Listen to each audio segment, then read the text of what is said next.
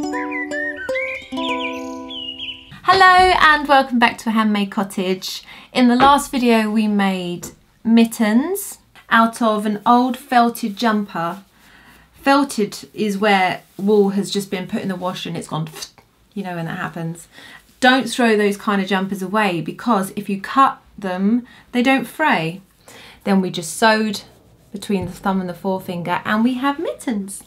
Okay, so now we're gonna make ourselves a snood. If your jumper is bobbly, don't throw it away because you can get one of these.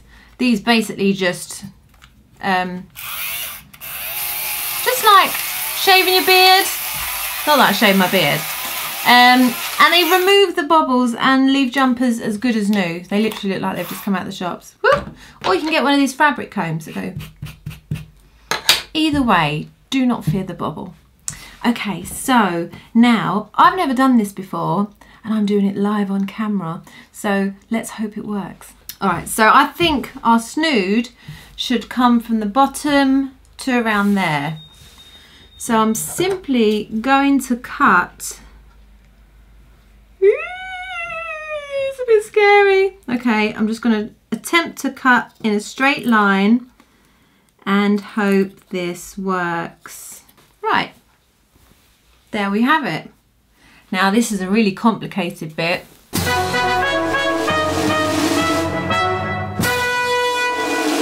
We simply wear it. So you can either wear it around your neck or you can go head style. Keep your ears warm in the winter. So the next thing I'm going to attempt to make, if sometimes the snood is a bit too much. Oh, look, crop top. Maybe not, I'm a bit too old for that now. I want to make a headband because I get cold ears on dog walks. So let's, again, just cut. Oh my God, it's genius, look.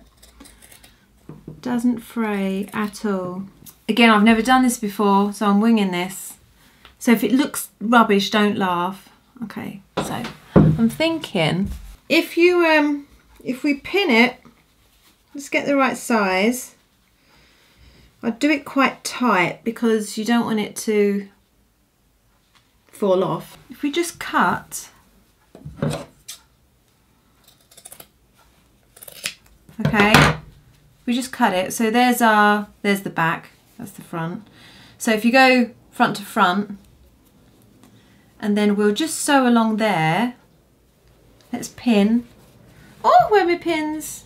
This is my little carousel that I've been I cross-stitched that. Looks complicated, doesn't it? But it's not.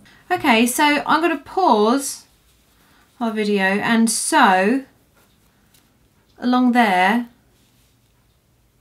And there we should have a headband. Ta-da!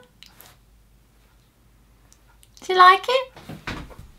My new headband to keep my ears warm on doggy walks.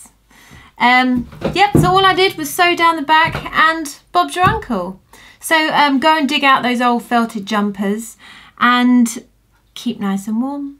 Keep nice and cosy. Okay, thanks for watching and do come say hello on Twitter, Instagram, Facebook and all of that. And I hope to see you again soon. Bye-bye.